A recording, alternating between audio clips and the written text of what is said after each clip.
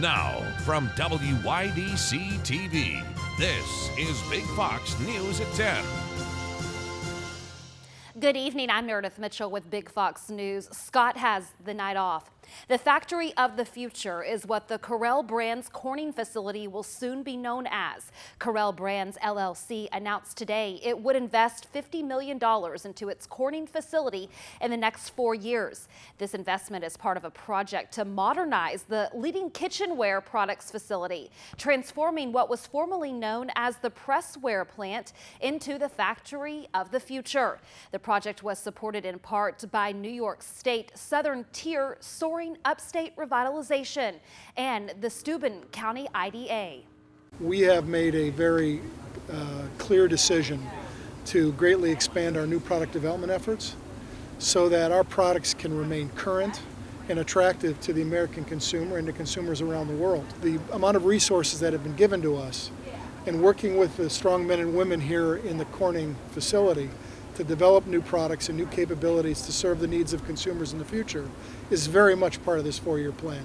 So what has me excited about this project is not only the fact that we're going to be able to continue to, to, to grow our, our technology here, but how excited I am about all the many new products we're going to be offering to consumers around the world that were proudly made here in the United States. Uh, well, one of the advantages of uh, the state of New York is, I mean, it's a true partnership.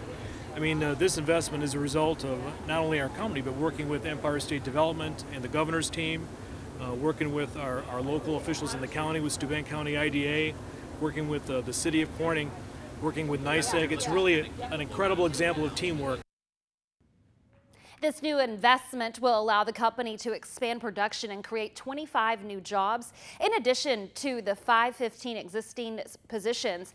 Since its introduction in 1970, Corelle Glass and Dishware has become the number one dinnerware brand in the U.S. Corning residents came together to help the owner of a longtime Market Street establishment.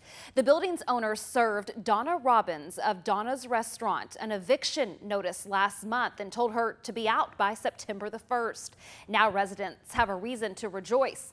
Donna's has found a new location just down the street. Donna's restaurant will move a few doors down to 58 East Market Street, the location of the old Dippity Doodahs. A move Robbins says would not have been possible without the community's help. Corning Enterprises, Amory Houghton, the Gaffer District, Peter Krogh, who's the owner of the building. Between all of them, I ended up back on Market, to stay on Market Street. It's going to have different outside, but we're going to do as much as possible to make it look like this. It's going to be the old Donna's with a few new updates.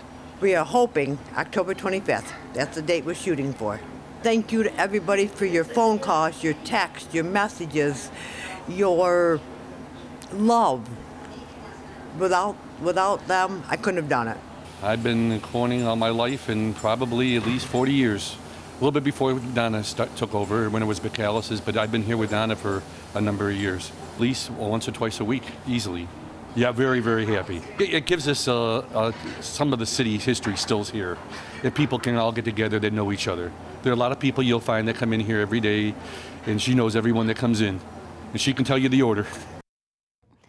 Donna's Restaurant, which has been at its 48 East Market Street location for 34 years, will have its last day of business this Saturday. The new location has a target opening date of October the 25th. And you may want to stay out of Seneca Lake for the time being. The Seneca Lake Pure Waters Association says a water sample taken a few days ago tested positive for a toxic algae bloom. The New York State Department of Environmental Conservation confirmed these findings. The water sample was taken from the Perry Point area on the west side of the lake. Runoff from recent flooding has helped contribute to the problem.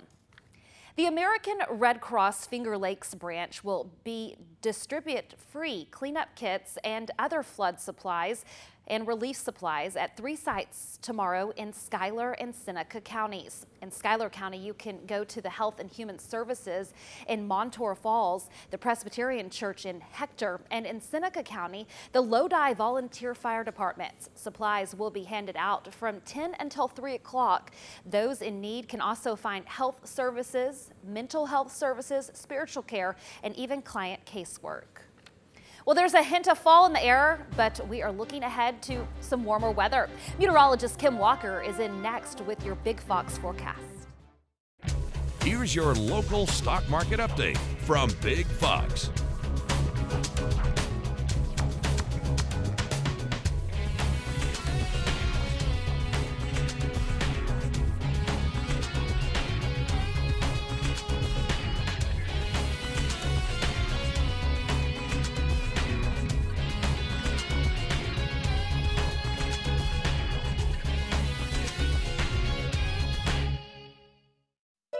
Now, your Twin Tiers forecast from Big Fox.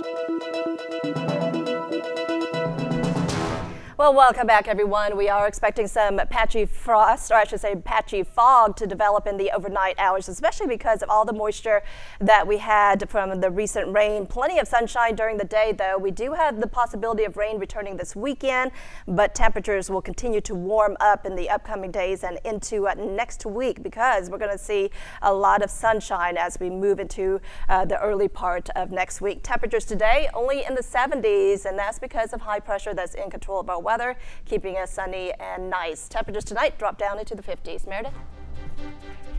Jen, thanks for joining us here on Big Fox News. We hope you have a great night.